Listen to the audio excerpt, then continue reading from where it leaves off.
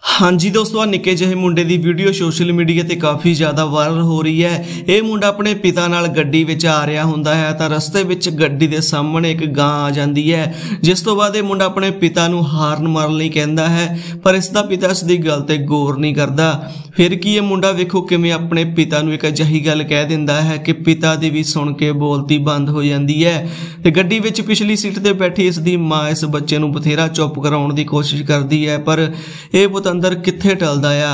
ਕੀ ਹੁੰਦੀ ਹੈ ਪੂਰੀ ਗੱਲਬਾਤ? ਤੁਸੀਂ ਵੀ ਦੇਖੋ ਇਹ ਪੂਰੀ ਵੀਡੀਓ ਕੀ ਕਰੀਏ? ਪਾਪਾ ਮਾਰ ਗਾਂ ਠੋਕ ਚੁਗੀ ਕੀ ਹੋ ਗਿਆ? ਠੋਕ ਦੂ ਮਾਂ। ਗਾਂ? ਤੇਰੀ ਮਾਂ ਠੋਕ ਜੂ।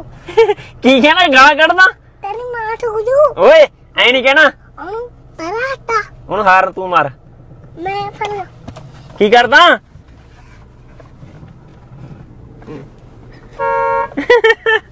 ਉਹ ਤਾਂ ਪਰਾਂ ਨਹੀਂ ਹੋਈ।